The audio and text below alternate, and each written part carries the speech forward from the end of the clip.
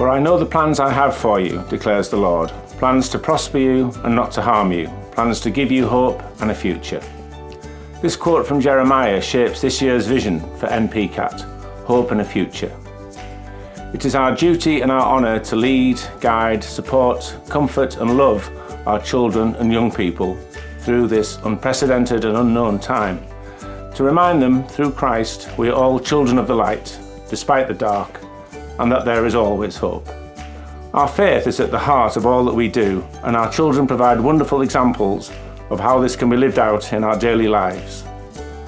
Our leading lights help to lead collective worship in school and also arrange a number of charity events to support others. As Leading Lights, we organise charity events so that we help other people.